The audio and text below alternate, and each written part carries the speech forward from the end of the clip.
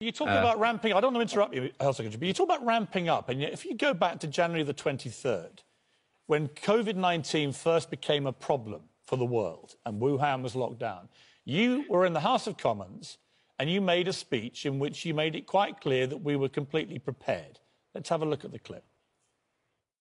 The Chief Medical Officer has revised the risk to the UK population from very low to low and has concluded that while there is an increased likelihood that cases may arise in this country, we are well prepared and well equipped to deal with them.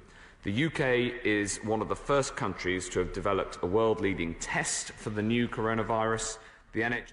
So, this beggars the question if we were so well prepared, particularly with testing, why is it that we are still behind the game on testing? Why is it we were so behind the game on PPE? Why is it that we had to go cap in hand begging manufacturers to make ventilators? Why is it that actually, despite the fact that in 2016 we had a whole pandemic conference with all the government, all the health department people, in which we actually tested uh, as a random exercise exactly what we're now going through?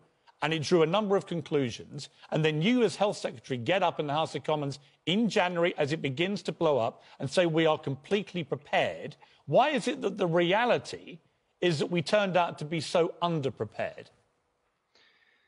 That's not true. And that is true. The, well, it's not, and I'm but about. It's plainly to true, isn't it? You haven't had enough PPE. You haven't got enough tests. You didn't have enough ventilators. What was it you were prepared for? Piers, I think you're slightly misjudging the public mood because I've come on. I don't this... give a damn about the public mood. I care about you answering my questions. This is a national emergency. People want to hear the answers to your questions rather than you, you just asking you another. Know what? Stop, stop playing that game with me, Mr. Hancock. With the greatest of respect to you, you're just buying yourself a bit of time.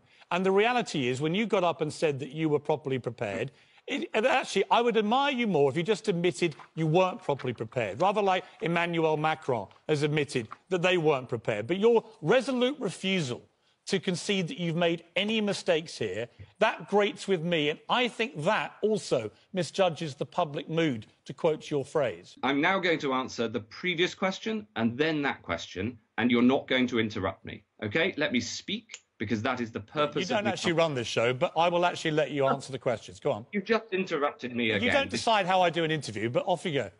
No, but I'll decide what I say as health secretary. Sure, and I'll challenge it. How you I do your job, and I'll do mine. We took the judgments on the measures that we took at the right time, uh, and the fact that we have successfully got to a peak and the NHS has been able to expand, so it's always been available. So it hasn't, unlike what we saw, for instance, in Italy and Lombardy with those terrible and very sad scenes at, right at the start of the European outbreak. Um, I think that that has been that part. When you talk been... about success, Health Secretary, we now have the fifth highest death rate in the world. If you include the likely care home deaths, I think we move to third in the world. You have a strange, different view of what success looks like to me. The care home explosion is happening. It is extremely dangerous for everyone that is there. Our death toll is rocketing by nearly a thousand a day. We were warned yesterday by Chris Whitty to expect even bigger numbers as this week goes on. This hasn't been, by any definition, a success.